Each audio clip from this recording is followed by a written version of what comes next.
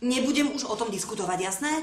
Tréningy sú trikrát do týždňa, k tomu víkendy a ja naozaj nemienim najbližších 15 rokov mrznúť na klzisku. Tak ale takto sa do Národnej ligy nikdy nedostanem. Sami, vieš, koľko detí v tvojom veku sa dostane do hokejovej reprezentácie? Nie. Ani ja, ale je to veľmi málo detí. Sami, veď si vyber niečo iné. Tak ale mňa nič iné nebaví. Pozri, power yoga. To znie super. No dobre, tak možno je to trošku snobské. Hip-hop, breakdance. Baby milujú chalanov, čo vedia tancovať. Áno, ale ja babi neznášam. Tak, ako? Samko, vybral si si? Raz do týždňa, v stredu od 7. do 9. No vidíš, všetko sa dá, keď sa chce.